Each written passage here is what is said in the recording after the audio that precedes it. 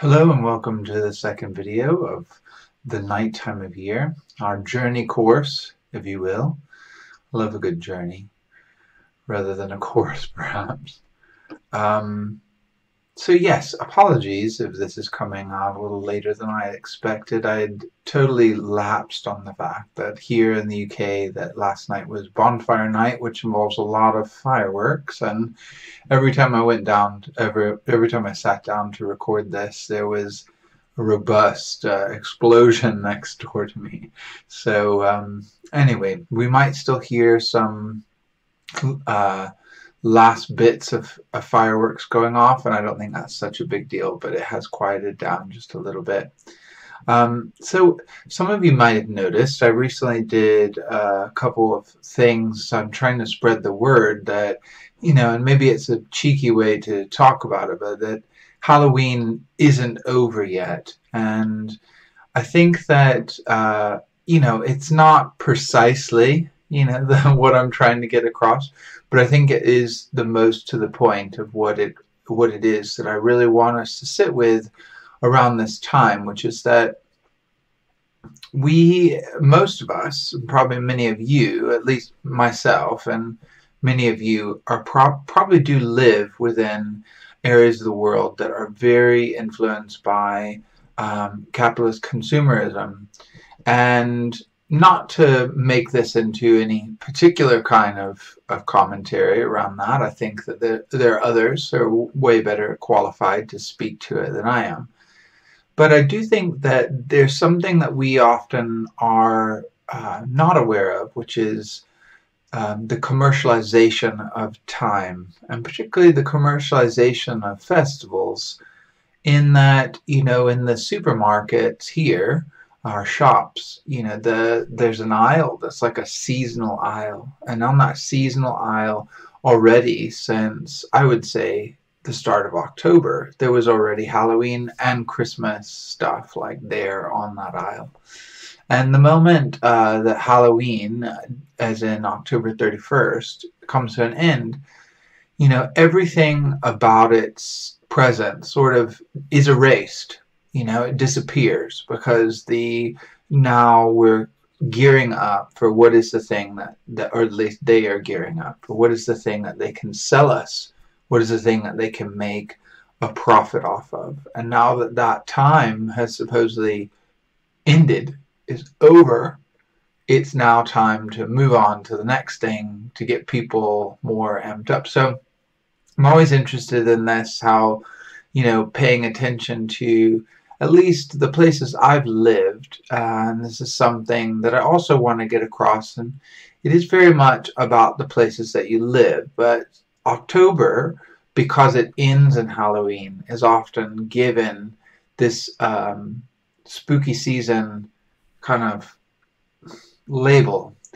When in all actuality, you know, the end of October is the gateway into winter. And I think you can see it in something like the Irish names for the months, where um, the entire month of November is called Samhain. And the fact that the month itself carries that name should signal to us that this entire month is really, if not all of winter, really, which is for them would have been or in that that tradition is November, December, and January. The idea that that entire time of the the darker portion of the year, when it is really approaching its darkest, and then just barely creeping out of the dark again, is is an entire time to really have an extended encounter, as I've said before, with the dead, with the spirits of the land, and with all those things that come alive in the night. So I hope that some of this is starting to sink in for you because I want us to really resist uh, the commercialization of time sort of reestablish the importance that this time holds within uh, within the pattern uh, of the place that we're in and within the pattern of, the, of our life. And that being said, I want us to, a lot of times when we think of place, we think of only the land, you know, what in maybe uh, the earth country, if you will.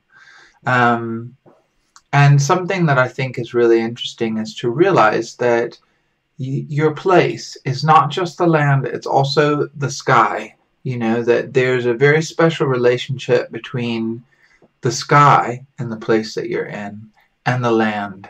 And I want us to continue to sit with these relationships as we go further. That um, a lot of what I want you to be able to do is, yes, we're drawing from very different areas of the world and thinking about uh, what people have thought before or think contemporarily about going into the dark and then my own ideas, you know, that I'm trying to share with you. But at the same time, I think it's super important. It's maybe even more important that you uh, be uh, like your place. You know, that you start to learn to have that genius, that intelligence that really comes out of being in relationship with the place that you are specifically in. And we might say also the places that are part that you're tangled with. You know, that's the question I asked on the intake. What places are you tangled with? Because I think that this will show the sort of many and multifaceted relationship that we have with place. But in particular, the place that you are in right now while you're listening to this, realizing that the sky is also part of the place. You know, it's not something we often sit with. So we'll come to that in in later moments or in, in a later video. But I wanted to really look at how the actions of what we think of as winter and where we're headed right now for those of us in the north and for those of you in the south you know you're headed towards summer um, something I would say is that the actions seem to be twofold. There, in terms of going towards the dark and the colder time of year, which is that there team seems to be both uh, a moving inwards and towards the warmth and the closeness that we can feel within the interior warm space. And then from this, almost like from the safety and security of that central warmth, we then have a kind of stamina or we have a strength to then go out into the dark and explore it more.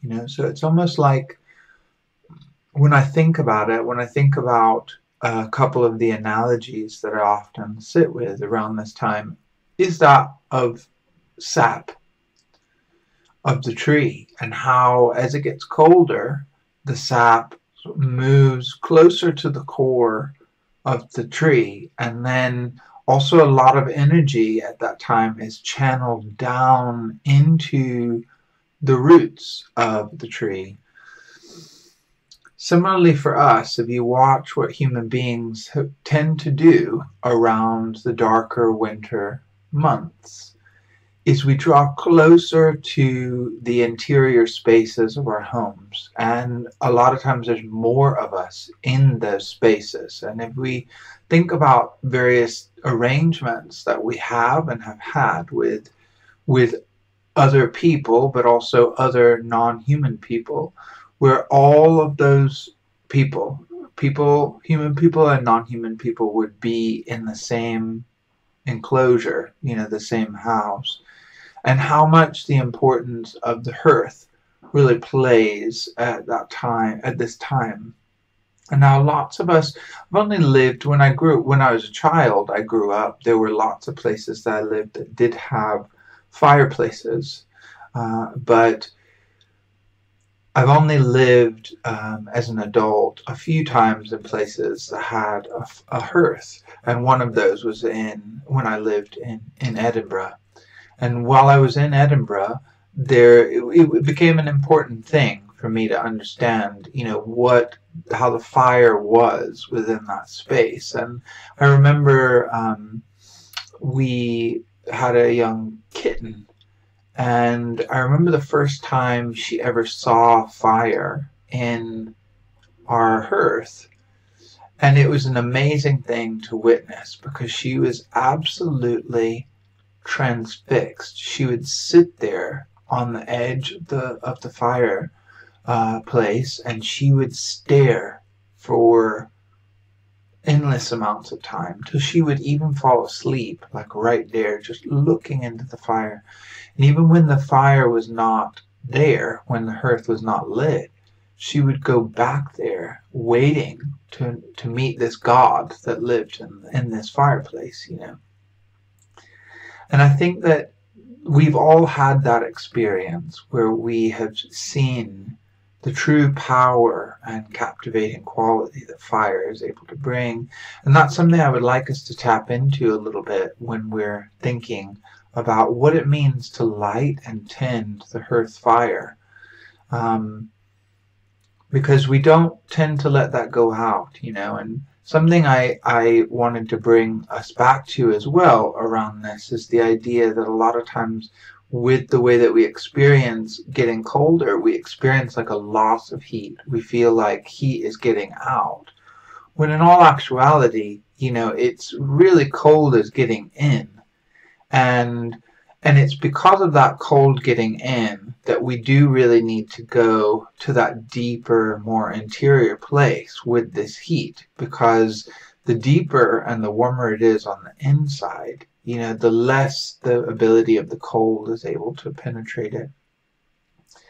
And similarly, you know, that being a theme, you know, when we're lighting the hearth fire, it already draws very interesting things into into focus, such as the shadow. You know, when the light, it, when it's dark and there is a central light source, the presence of shadow becomes so much more apparent and the overlapping of shadow. And something that I'd like you to explore, you know, at some point when you have a moment. And with fire, it's always important that you uh, take care. So not all of us have very safe places to have uh, fire a lot, you know, lit all the time. Um, and and and even when we're working with fire a naked flame you always do want to take extra care around your your your work with naked flames. But when possible for you find a way within as much space as you can to light a single candle in the middle of that space and spend some time really looking at the flame, you know, the, the single flame and how much in darkness, the way in which a flame becomes this most luxurious, most inviting nighttime being, you know, um, the way that it interacts with the the space around it and start to take notice of the shadow that you cast and attending to that shadow paying attention to it almost like seeing what it has to, to say to you.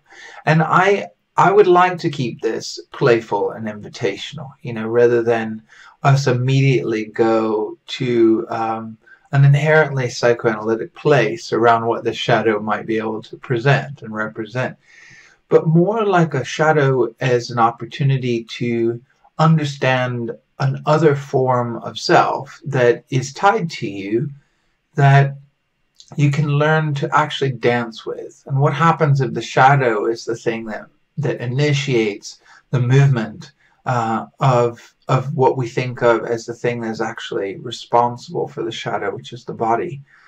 Uh, I'd like you to to do this at some point and see see what comes up for you.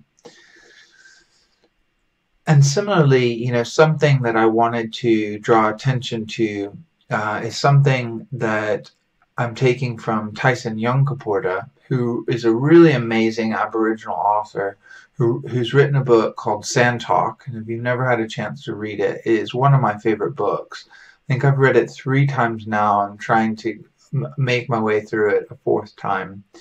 But he talks about something called ancestor mind.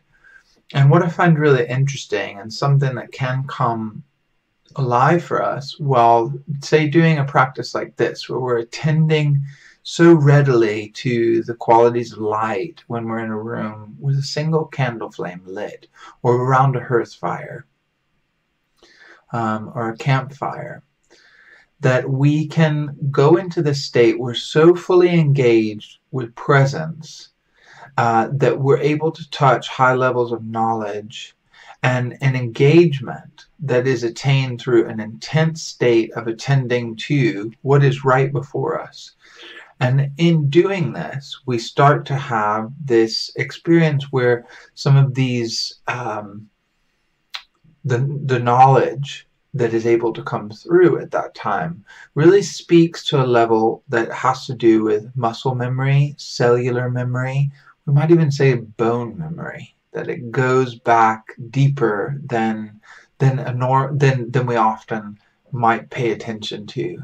And to me, this is an interesting thought because uh, similarly to some of the work I've done with Alkistis Dimech around movement and dance and the body, is that these darker realms, like the body, they are a fundamental ground of our being. And this is something I want to speak to today. But the idea of when we allow ourselves to have such presence with shadow and with our own body, there's something else that is able to step forward. And it's almost like all the forms that we have ever been in terms of our ancestors. And I mean, as human persons and as non human persons, is still present within us.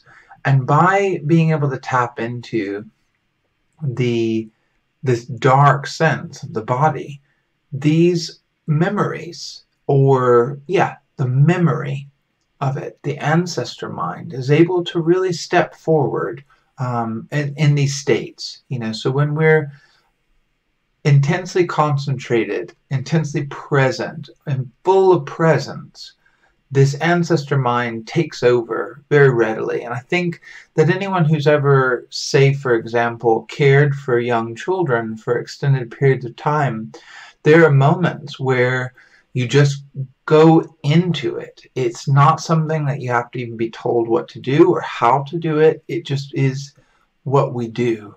And rather, you know, I think it's something to really pay attention to. Where, uh, what, what, mo- what movements and what uh, activities take us into ancestor mind. And Tyson Yunkaporta, he sort of he emphasizes uh, craft and and activities that really create um, high levels of concentration.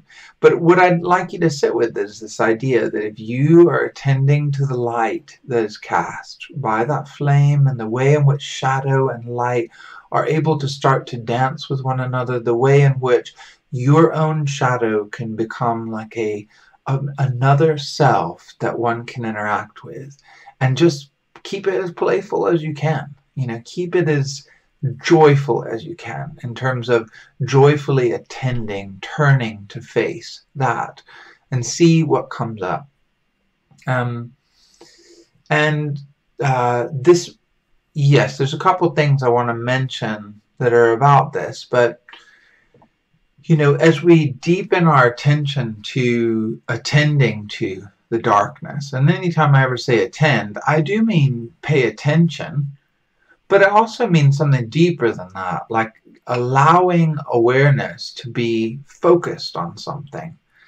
Um, for me, presence learning to inhabit fuller states of presence within place is a lot of the magic that is involved with this. And a lot of it is is happening through the power of attending to something. And so when we start to attend to darkness, we also start to pay attention to the forms that are created by the dark.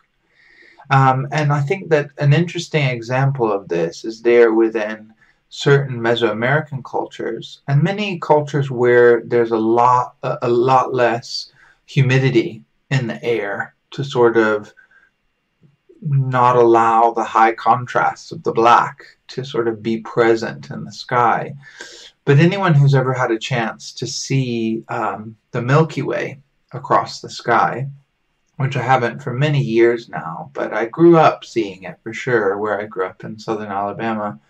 And um, what we'll notice is that our mind tends to be drawn to the light, you know, tends to be drawn to the sources sources of light, the nodes, if you will, or these sort these cloudy, sort of milky uh, bit, uh, milky presence of light, you know, that's sort of there.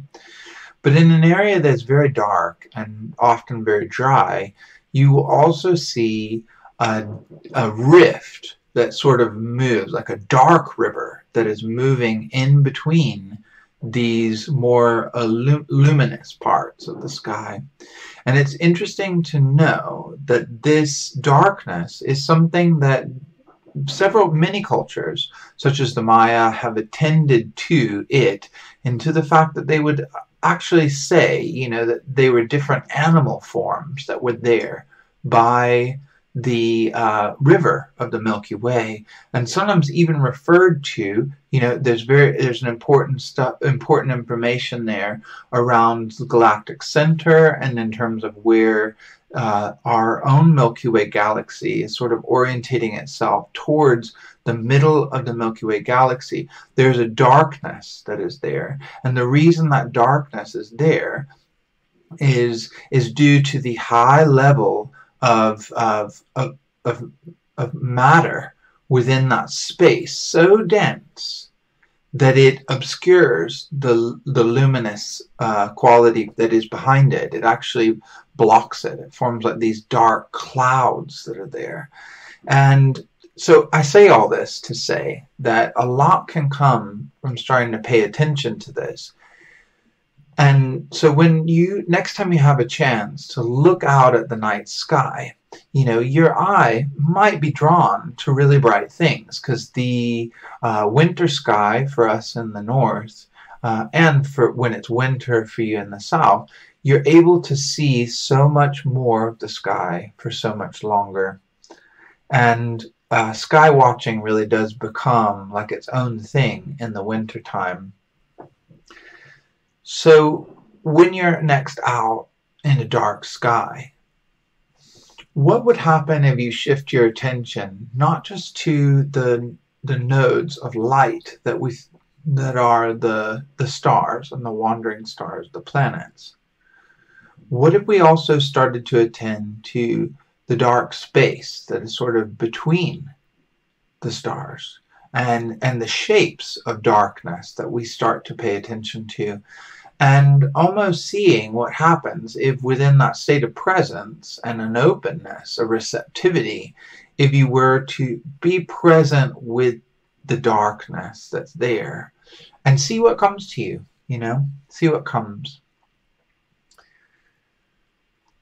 Maybe by attending to it, you know, uh, we can see, just like I said when we close our eyes, the darkness that's there. It can be a screen for the projection of our mind. It can also be a space for other things to communicate to us, but it can also be an opening, a doorway, a portal, you know, or a dark mirror.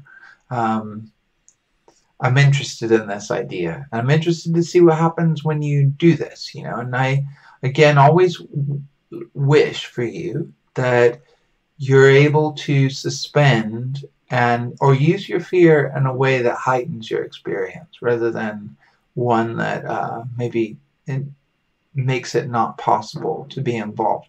But it's always invitational. I want you to feel like you're being invited to do this.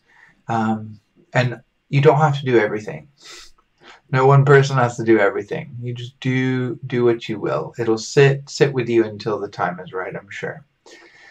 So turning a little bit more to the mystic aspect of what I want to focus on in this talk and, and the idea of the metaphysics of the night.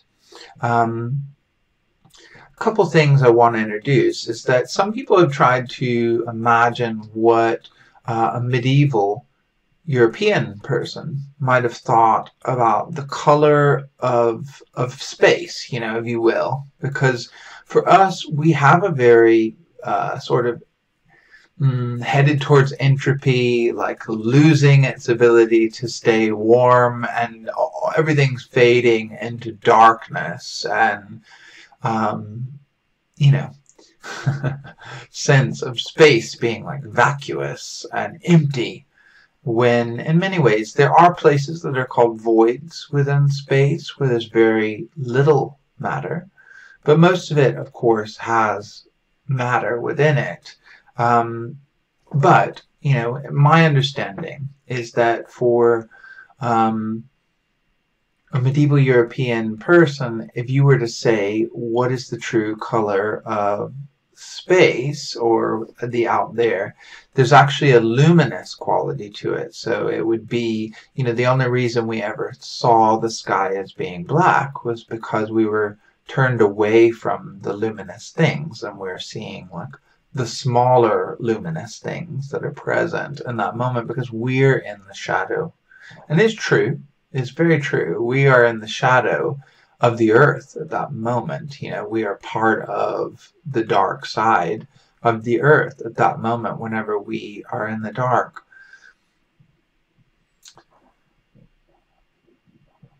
And I think a lot can be learned by paying attention to the transition periods towards uh, the deep dark. Because anything, something I know from my work within astrology that I do think is interesting, and there will be a whole video thinking about this, and I have a couple of uh, bits that I will bring in during this video. But the idea that, you know, day is really marked by the presence of the sun visibly on the horizon and it's showing itself. So at dawn, when the when the sun actually cracks open the horizon, if you will, at that moment and rises up, um, we are in the day, and it it it uh, carves an arc across the heavens, and then begins to make its way down, and the day ends when the sun's light is the sun itself is gone. You know once it is fully set night sets in. And night almost holds this is an interesting thing about nighttime is nighttime holds both the duskiness pre-dawn and also the twilight phase of uh, the recently set sun and so there is like this great amount of visual texture that nighttime offers, where there's a transition, you know. And if we think about the metaphysics of night and day, and a lot of the ways in which various uh, astrologies do think about um, the the power of the night and the power of the day, is like the breath. You know, that the day is an inhalation and that the night is an exhalation. And we can find this by paying attention to our own breath. You know, that if the day is the inhalation, day has begun as soon as the air is entering into our nose. You know, it's like the sun has made its appearance there. And then the moment that uh, day ends, um, is the moment that we reach that kind of like peak breath in. And the moment that that stops, day is done. You know, the transitions, those in between breath and in breath and out breath, is almost part of the night. And I think that paying attention to the transition into the deep, deep dark uh, is a lot like attending to those in those spaces that are sort of there in between the the transition moment between the in breath and the out breath. Uh, and the out breath back to the in breath. And slowing this down, we can start to notice this. So I almost, I, I think that it's an interesting one as we breathe to sort of think about the day and then to think about the night. And the exhalation being real, then those transitions being tied to the energy of the night. And we think about this and uh, we'll return to some of this thought in a moment. But it's it's similar to some of the same things we said about the drawing inwards, you know, that there is this movement back back towards the interior, um, almost like it's like a like an expanding and a contracting, and that's very true in the way that we think about the heat that the day offers and the dryness. So it has like an expanding quality, and night brings coolness and moisture. There's a condensing that starts to happen. And this is mirrored out, mirrored in a lot of relationships in many different um, mystical traditions, as well as how they how different mystical traditions think about the way that energy moves uh, the way that forces are sort of interacting with one another. So the night is that power of the transition, but also of the, yes, the drawing inwards, the condensing. So again, thinking about it from uh, some metaphysical and also maybe story uh, dynamics thinking about darkness as the uh, prime primal ground of being.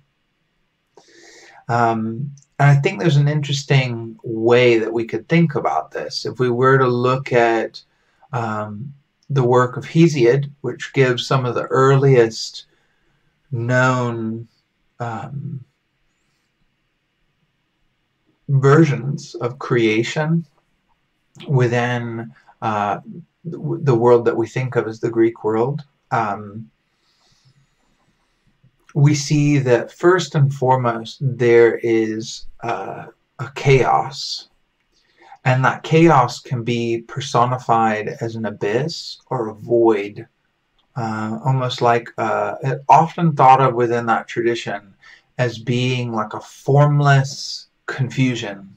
There's not really anything that is able to be manifest in the way that we normally think of it. And and this does highlight some of the dispositions that those that tradition has towards darkness for sure. But chaos was not darkness to them. It was like a pre-existing state you know if you will. And out of this void comes Nyx which is night. And Erebus comes out of it as well next, and that is darkness. And then next we have Eros and Gaia and Tartarus. You know, they it's like an order almost.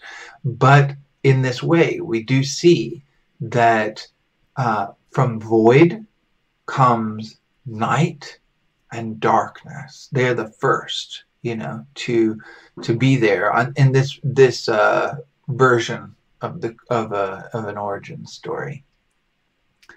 And eros is the thing that came comes in that makes it possible for two things to yoke together and make something new. And so by Erebus, uh, which is thought of as a as a as a male deity, darkness.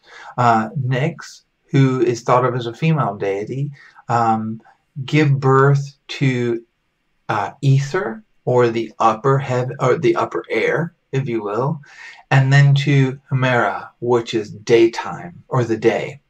And this was the first uh, union was actually between darkness and night, and they are the ones that give birth to air and to uh, or the upper heaven, if you will, and to um, to day. And I think that uh, this is an interesting one because from Nyx herself, uh, she becomes the mother of several other forms, like uh, Thanatos, which is translated as death, or Moros, which is translated as doom, but also Hypnos, which is sleep. But she also gives birth unto herself to the fates or the Moirai and to a being that we think of as something that is sort of like a another version of fate uh, called nemesis. So night, um, night has this generative quality in and of herself, and this is not uncommon of several other of several other forms. But I do like this idea of how void, night, and darkness are more aligned with the void because they are first.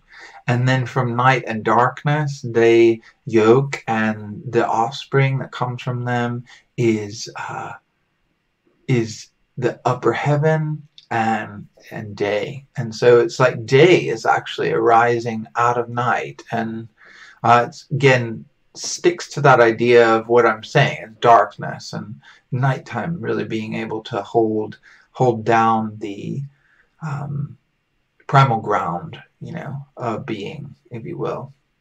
But there are lots of different creation stories. It's just one that kind of vibes with the, the message that I'm trying to bring across. So I'd like to read to you now um, the uh, poem from the Orphic Hymns, uh, tonight. It's a prayer tonight.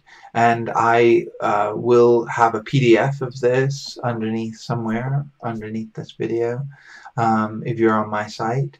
And if you're not, go there and you'll be able to see it. It'll be right there.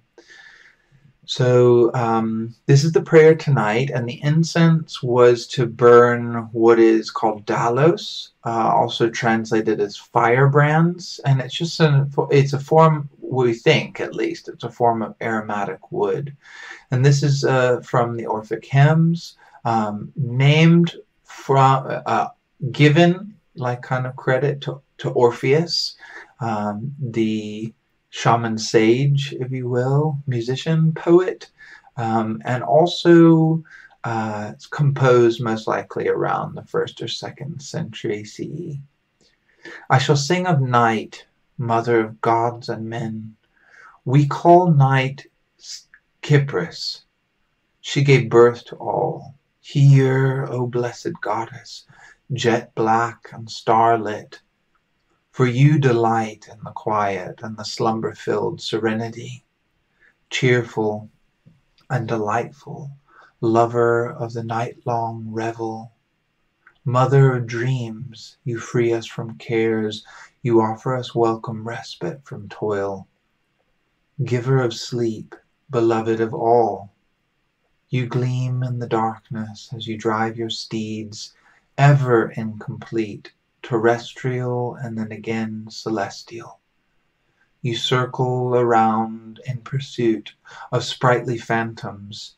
You force light into the netherworld, and then again you flee into Hades. For dreadful necessity governs all things. But now, O Blessed One, beatific, desired by all, I call on you to grant a kind ear to my voice of supplication, and to come benevolent to disperse fears that glisten in the night.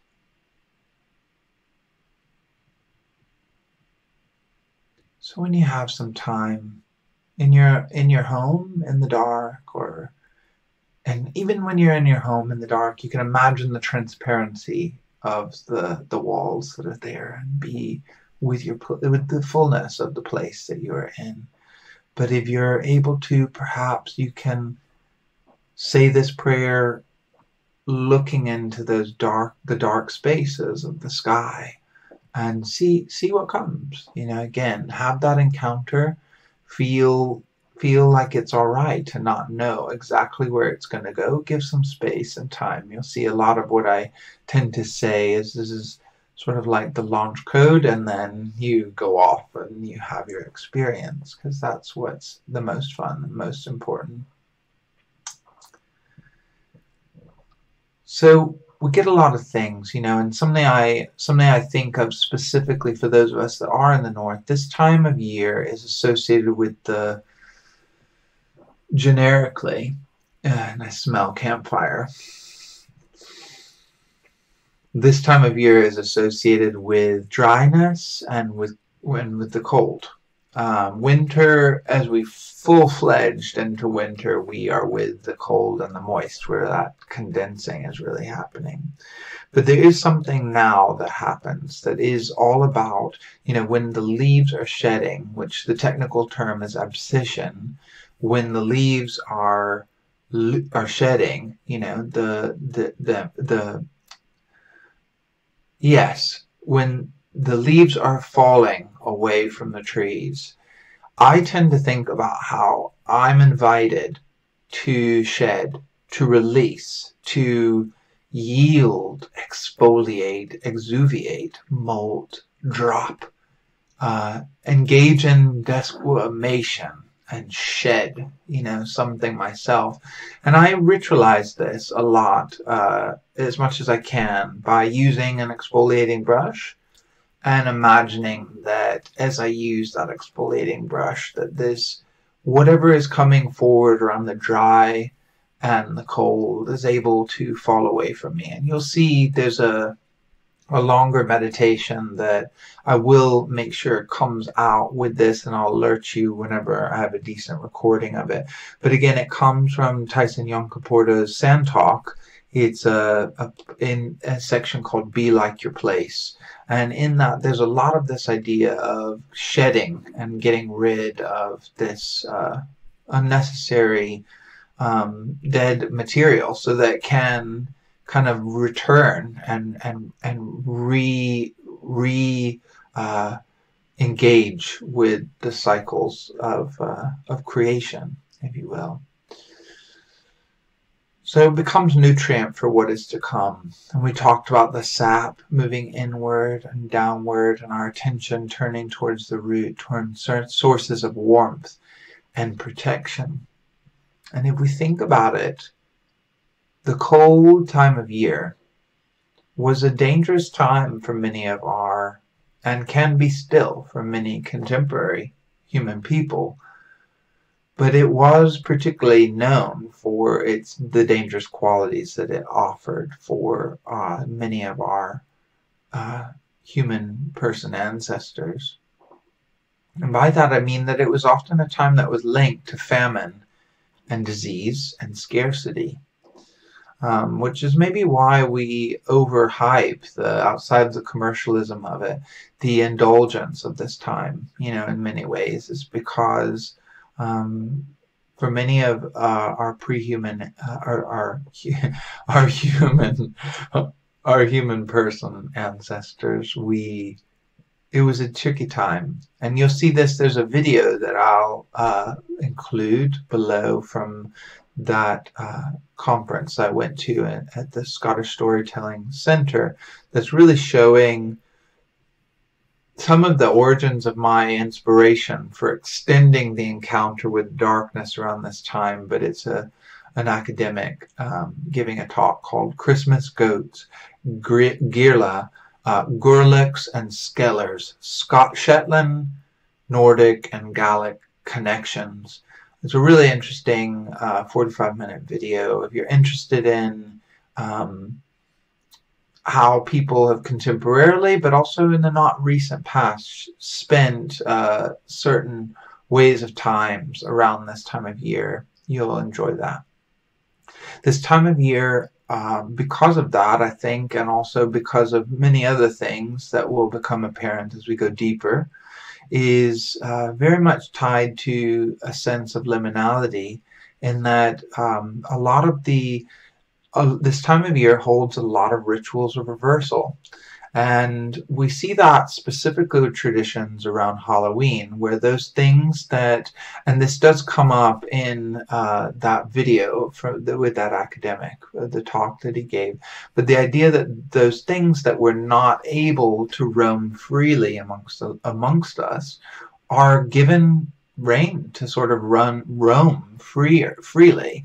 Some uh, scholars link it to the idea that the extended period of darkness allows what light keeps trapped into things to come free. And because the duration of the night is so much longer, they can travel so much further than they would be able to otherwise. But the idea that those things that are often hidden to us become visible is a type of inversion. And also, um, if we look at it now, like modern traditions around Halloween, is that literally the children of our families often end up embodying the, the spirits and embodying the spirits of the dead who then visit us, and if we do not pay homage to them, we know what might happen. So we see how something that has been laid uh, to a lower state is given such power and importance around this time of year. And these rituals of inversion are not just in those. There are others that happen throughout this time of year, and we'll we'll talk about a few of them uh, as we go further. But the opportunity that's there is we're literally able to sense into something that is invisible to us normally. Um, and and a lot of the the uh, witchcraft traditions I've been involved in in the past, there's a lot of emphasis placed on learning to be initiated by spirit contact, like being able to learn how certain spirits will teach you how to see as spirits uh, or how to see them better, you know. And a lot of the information I've been given through those encounters is the idea of covering one eye, you know, so you only see with one eye, or taking both eyes and lowering them so that you see this like veiled version of seeing. And in seeing that veiled version of seeing, going out into a landscape and moving very slowly and seeing what speaks to you. But uh, some of these themes will come back as we look at some of the the cultural practices that come out of Scandinavia and Iceland in particular. But the idea that this is a time about sensing the invisible, you know, and being able, and the visible being made visible to us, literally, you know, uh, being an aspect of this time. Um, and something I wanted to delve into now, as we're talking about this, about uh, well, this is that we could say that there is a, a, a real rationale to being afraid of the dark, in that we're not sure where the predators are within that dark space. You know, we know for a fact that human being, our vision is quite limited compared to many others. We know that there are animals that hunt at night, and um, it is almost like a rational uh, fear that we have of the dark and and the predatory qualities that might exist in the dark. And many of us only have to think back to encounters with the dark that we had in childhood or with our own children perhaps or children in our lives to help us to see, you know, that that um, fear is a real thing. Now, um, Gemma Gary, she uh, is a Cornish witch who has written many many books. Uh, I really like her work. Um, it's like with everything. Some people do, some people don't. But I like what uh, Gemma has done with elaborating on uh, the folkloric sort of like a um, traditional form of witchcraft and has kept moving forward with that. And in a book that she wrote uh, called The Devil's Dozen, which is 13 rites for how to connect with the um, the devil, if you will, or the idea of the um, the horned one, or however you want him. The blanking on the word that Gemma actually uses in it. But she gives a practice where, uh, and this is not something I would suggest to do in the winter, but more in the warmer months for us. But it's to highlight this particular idea is that she suggests going into uh, a dark space ideally, I think in the text she talks about it being in the woods and taking a single lantern or something or flashlight that you go into the woods. And then you have to find a space that is secure enough for you to be able to do this obviously. But stripping off completely to your bare skin and laying down nude in the dark and switching off uh, the light and keeping your eyes open and being with the darkness in this really intense way. And what she found through doing this practice and, and a few others was that uh, something about fear and the way in which fear is moving us towards peak experiences is really important to us having spirit contact.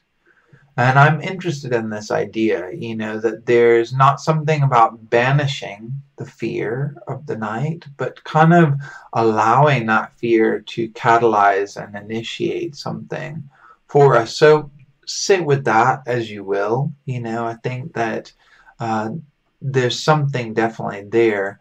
Uh, and this brings me towards, you know, kind of getting towards the last bits of what I wanted to talk about, which is that when we're thinking about the archetypal qualities of darkness and night, we're immediately drawn into a sort of kind of polarization that is the maybe like the the er polarization of night and day, you know, light and dark. And I think there is a really binary way of thinking about this. I mean, what I've tried to encourage you to think is to think not just about that, but also about these transition pieces and how the transition pieces are important to what we understand as the fullness of the night. Um, but also the way in which um, I'm, my mind goes to this place where dark encounters seem to involve heightened emotional states and fear and anxiety. And there are a, there is a high level of complicated emotion that is it, within the space is in the space within the darkness um, for many of us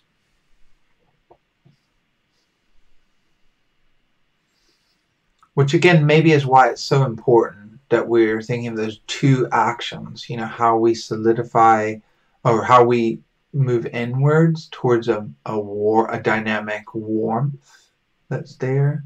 And then from there we're able to journey out into the night because we have that space to sort of return back to um, each time point I was really wanting to get at is that you look at a psychoanalyst like James Hillman, and Hillman, of course, is a Jungian, I think, Jungian psych, uh, psychoanalyst, invoking the idea of a polytheism uh, as opposed to a monotheism of Jung's ideas of the self being like there's this ur form of being called the self that is sort of like the sun and how everything is again simplifying massively sort of orientate orientating itself around this central core uh, that is probably its everything's origin and maybe where it even returns back to I guess you know as a concept.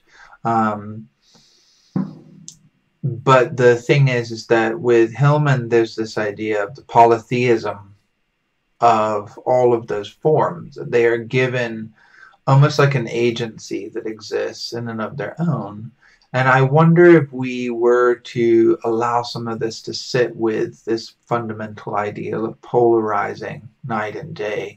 And it is something that I will return to as we move towards the the end of what we're looking at is is um, completing a relationship or finding uh, a, another way of relating to these two things. But again, no answers, just something to to be with. And it does remind me though of, you know, a lot of lot of times we think of the night as being able to really represent uh, a very powerful form of feminine power within many cultures. And I am interested in the idea of the night and this idea of the grandmother, if you will. And I had a friend, I have a friend, his name is Donald Engstrom. He's one of my teachers, and he talked about how he had a very powerful relationship with Grandmother Bear. And when Grandmother Bear would um, get talk to Donald around this time of year, he she typically, at least in my understanding of their relationship, would encourage him often to bake pies and eat them and share them with other humans to to sort of be a way of again drawing closer together and being in that warm space. Um, and one day, supposedly, Grandmother Bear, he asked Grandmother Bear maybe why uh, she wanted him to to bake bake so many pies and eat them. and she said to him, uh, "Bake all the pies and eat them, because when you die, you'll you'll taste all the sweeter." And I think that this is something that is true for us about this primal form of darkness, which is that it is something that is generative and that it gives us space to be born, to be, to emerge, you know, and appear as a thing. But at the same time, it also reminds us always that we shall return to it uh, inevitably, completely. Um, and you can see this within many different cultures. Uh, we can think of Kali, for example. Um, but we can think of many different God forms that sort of have this truth that they are ferociously protective of their babies, but they also eat them. You know, um, again, food for thought. when you become food for thought. So to end, let's look at some other practical things that one can get up to. One, um, as you, uh, in my quest to always make these things more place orientated, start seeking out the dark in your place. And by that I mean we can look at any form of dark. What is the not what is the less visible elements within your own home? You know, where is there darkness like more readily and more naturally than anywhere else? What are the um, places within your landscape? You know, are there any caverns that that are present within your like the two two mile three mile radius around your home? Are there any old trees that have like fascinating holes in them? Another one, because I do think that the ancient aligns really well with the dark and the night. There's almost like there's more there to sort of again like that those rifts, the dark rift in the Milky Way is so packed with uh, material that it appears black to us, you know, and obscures the light. We can almost start to find places within our landscapes that are the oldest things that we are able to, to tap into. You know, where's the oldest oldest man-made building like the oldest trees. Where's the place that you can come into contact with the oldest stones within your area, you know? And it doesn't have to be any um, any place in particular. It doesn't have to be like the oldest of the oldest, but I think knowing that it is an old place with the oldest cemetery, you know, within your landscape. Find those old places. Last little bit this is more about my my encouragement for you while if you are in the north hemisphere to get outside and be with the sky. And the reason that is because the sky is so much there's so much more time to be with the sky now than there is in the winter particularly if you're in the farther areas of the north. Like when I up here it starts to get dark really early now and it starts to brighten up super early as well. My point is, is that this is a remarkable time to be with uh, the night sky. Similarly, the path of the planets, the ecliptic, what you'll notice is that during the day in the north, if you're in the north, uh, and it'll be reversed for you if you're in the south, you know, but this pattern still holds.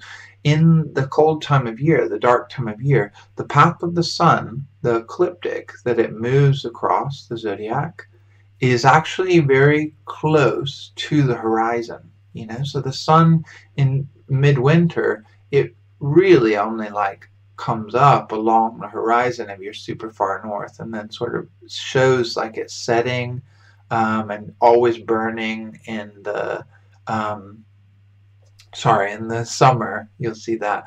But um, in the winter it'll come up and it'll hug the horizon and then it disappears again.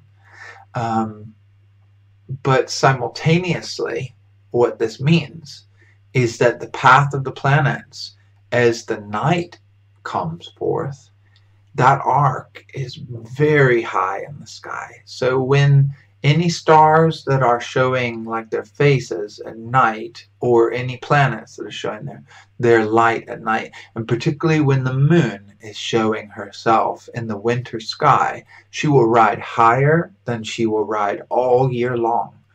So this is a really powerful time to see this, the planets while they're way high up in the sky um, and right now, in most places, you can see Saturn and Jupiter. And then, in particular, uh, right now, we have an amazing ability to counter Venus.